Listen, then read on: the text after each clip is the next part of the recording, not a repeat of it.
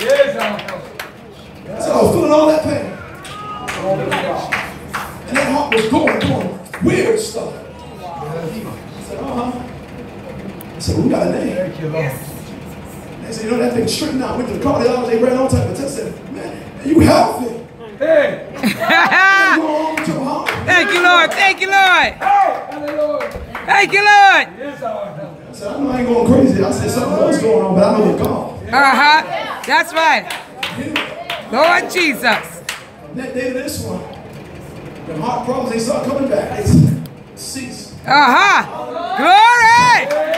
Glory to Jesus. Glory to Jesus. You call on Jesus, that's Trust in him, whatever you want to do. There you go. And don't let it stop you. That's right. That's But I right. got this thing something. Yeah. Right here when I speak something, and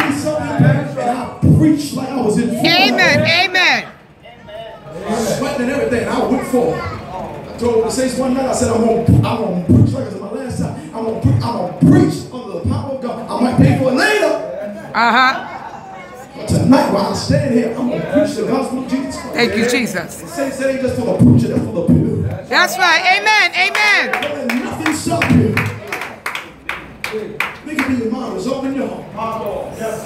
Before you take back your coat in the name of Jesus, and allow God to give you the strength that you need. Put your hands together. Thank God for the Lord. Amen.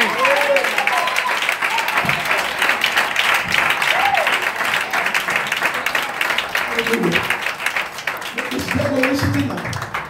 I will remain connected. Amen. I will remain connected to the true vine. As long as you're connected with the vine, everything will be all right. Thing will be all right.